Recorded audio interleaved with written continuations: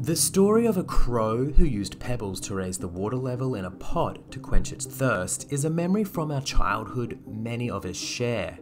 Similar childhood stories told us that only a few animals are intellectually proficient. So, do other species possess higher cognitive abilities, such as human like intelligence, or are they more like a biological robot? And before we even get that far, how do we measure animal intelligence? This is Dynamic Science, and in this video we're going to talk about animal cognition and the tools used to test and analyze them. Our social feeds are filled with videos of pets that act in an unexpectedly intelligent or emotional way, and no surprise, they are amongst the most viewed content on the internet.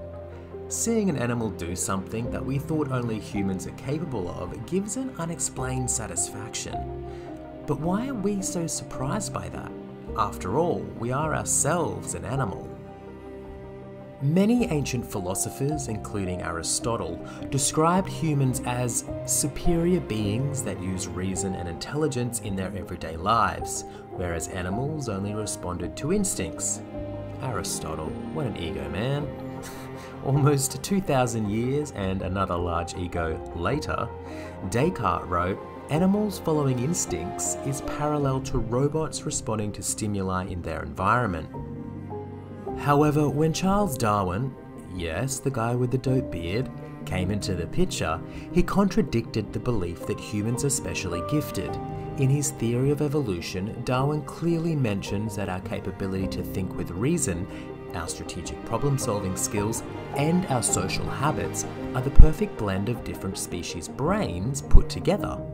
Darwin claimed that intelligence evolved from simple instincts. Different animals solve different complex problems, very similar to how humans do with all those abilities combined. He said that our brains are different from them in degree, but not in kind. Ever since Darwin's theory of evolution, researchers have been trying to test the cognitive abilities of animals. But the problem encountered was always the same. How do we define intelligence and what is the best way to measure it. Until we can establish a definition of intelligence, how are we to know what to test for? Do we want them to remember where to hide, deceive a fellow creature, or learn rocket science? Or do we want to answer the biggest question of all? Do animals share a consciousness like that of humans? Or are they simply responding to rewards?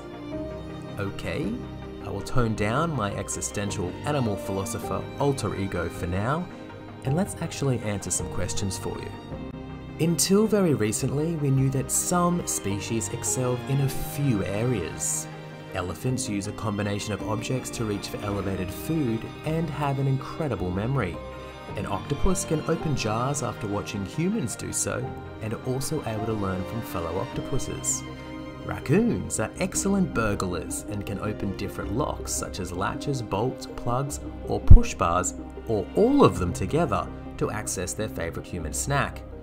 Bees communicate using a special waggle dance to indicate the location and quality of food sources to other bees.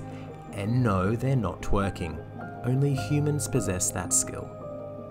Koko the gorilla was renowned for her emotional depth and ability to communicate in sign language. And of course, many species of bird have varied abilities to imitate human language. But the problem with all these tests is that they are not very reliable. The sample sizes are too small to be confidently applied to the entire species, and most of the time the animals are just completing tests for food. How human of them. So, in 2014, an international team of scientists decided to tackle the situation of animal intelligence more systematically. They had to find a single mental capability that would be dispersed throughout a wide sample of species. They tested more than 500 animals across 36 species for the ability of self control, defined in the study as the ability to inhibit powerful but ultimately counterproductive behaviour. But what is the link between self control and intelligence? Being able to suppress a prevailing urge is an important part of making decisions and over time equates to how intelligent an animal can become. a precursor to higher cognitive abilities such as future planning. The experiment of self control consisted of two tests. In test 1, a piece of food was kept under a box in front of the animal, and then its location is changed to another box. Animals were tested on whether they would resist the urge to keep looking under the box where the food was first kept. In the second test, food was placed in the middle of an opaque tube with open ends so the animals were able to go inside or grab the food out of the tube. Easy, right? Next, the food was put inside a tube once more, however, this time it was transparent, so the animals were tested on whether they would grab the food from inside, like before, or they would simply scratch at the transparent tube. The research compared the animals' performances with two metrics thought to correlate with cognitive capacity absolute brain size and brain size relative to body size. However, the results of the experiments came as a surprise to scientists. It was found that species with the largest brain volume, not volume relative to body size, showed superior cognitive abilities, challenging previous assumptions. The research showed that animals with more complex diets had greater self control.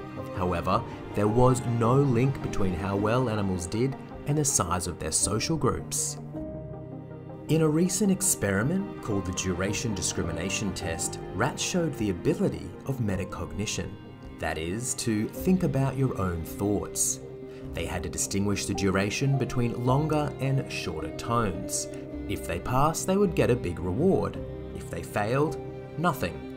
And if the rats chose to not attempt the test at all, they were given a small reward. This capacity of thought is the ability to know that you do not know something. And the rats seem to know more than we give them credit for, declining to attempt the tests once they got too difficult, suggesting that they are in fact aware of their cognitive state.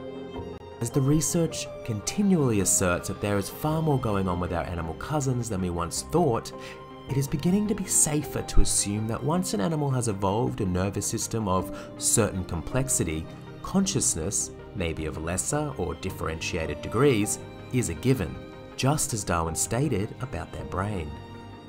And who knows, one day, in the distant future, we may be able to come home from work to hear about our pet's day and how much they missed us. Although, the era of human superiority may lead to dog world domination. Or have I been watching too much Rick and Morty? Enjoying the content? Then shout us a coffee. And don't forget to like, share, and subscribe to our channel for your weekly dose of dynamic science.